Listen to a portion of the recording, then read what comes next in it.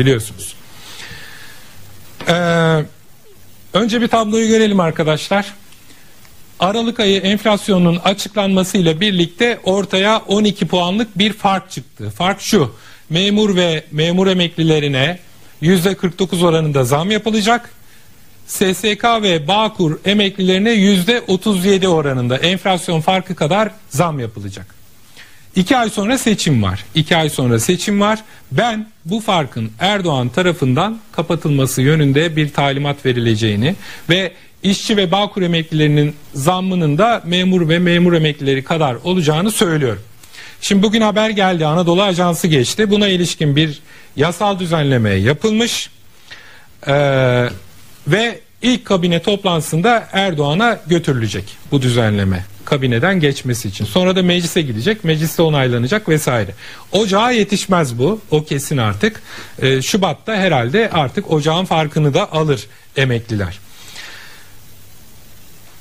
Şimdi bu meseleye ilişkin bugün bir de Cevdet Yılmaz'dan açıklama geldi. Cevdet Yılmaz Cumhurbaşkanı yardımcısı bu düzenlemenin içeriğine ilişkin yani nasıl bir nasıl bir zam yapılacağına ilişkin açıklama yaptı.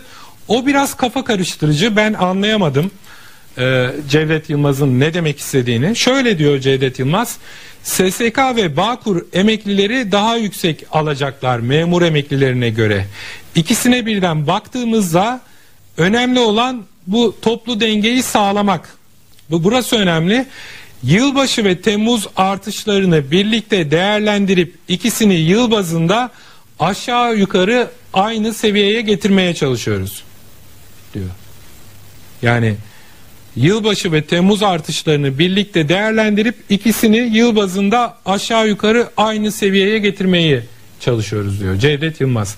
Şimdi ben anlayamadım ne demek olduğunu. Yani bu emeklilere bu 12 puanlık farkı kapatacak bir zam şimdi yapılmaz da hani Temmuz'da mı yapılacak yoksa Ocak'ta ne bileyim memur emeklilerinden daha yüksek mi zam alacaklar? Burası flu kalmış. Anlaşılmamış. Bakalım ne olacak.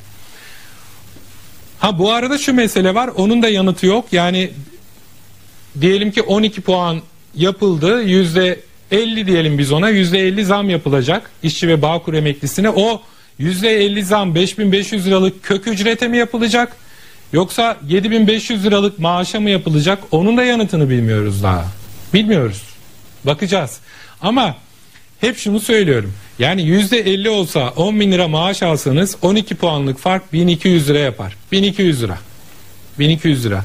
Bazıları için çok büyük para. Emekliler için çok büyük para 1200 lira. Bazıları için de para bile değil. Hayat böyle zaten.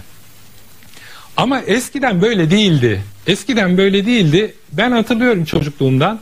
Emekli olanlar bir ev alırdı. Falanca işte bilmem ne amca bilmem ne teyze emekli olmuş falanca yerden bir ev almışlar. Hep bu konuşulurdu. Hatırlıyorum emekli olan kendisine ev alırdı. O vakte kadar alamamışsa. Ama artık alınamıyor. Alınamıyor. Yani sıradan işçi, memur, emeklisi zaten alamıyor da ben size daha garibini söyleyeyim. Diyanet İşleri Başkanı olsanız bile emekli olunca ev alamazsınız. Bir gün gazetesinden Mustafa Bildirici'nin haberi. Şimdi Diyanet İşleri Başkanlığı'nda buna ilişkin bir matematik yapılmış. Yani işte Diyanet İşleri Başkanı emekli olsa ne kadar ikramiye alır, ne kadar maaş alır falan gibi diğer onun yardımcıları için vesaire vesaire. Diyanet İşleri Başkanı Mehmet Görmez, e, e, Ali Erbaş özür dilerim. Ali Erbaş emekli olduğu vakit alacağı ikramiye 40 yılı varmış. 40 yıl hizmet vermiş. Alacağı ikramiye ne kadar biliyor musunuz? 1 milyon 548 bin lira. 1,5 milyon deyin siz ona. 1,5 milyon lira. Maaşı da 65 bin lira emekli maaşı. 1,5 milyon lira. 1,5 milyon lirayla İstanbul'da Ankara'da ev falan alamaz. Diyanet İşleri Başkanı. Bir artı bir belki alabilir diyor kameranın, kameramanımız Zeki. Bir artı. E, bir artı bir de almaz canım. Diyanet İşleri Başkanı'nın bir artı bir evde ne işi var? Yani yani Diyanet İşleri Başkanı'na ki işte bürokrasi hiyerarşisinde en üst makamlardan biri bu Diyanet İşleri Başkanlığı. Ona bile bunu yapan hayat size bana ne yapmaz? Düşünün. 1 milyon 500 bin lira. Diyanet İşleri Başkanı'nın emekli olduğu vakit alacağı ikramiye. 40 yılın karşılığı olarak alacağı ikramiye. Halimiz budur. Budur. Cumhuriyet Halk Partisi Genel Başkan Yardımcısı Yalçın Karatepe'de bu emekli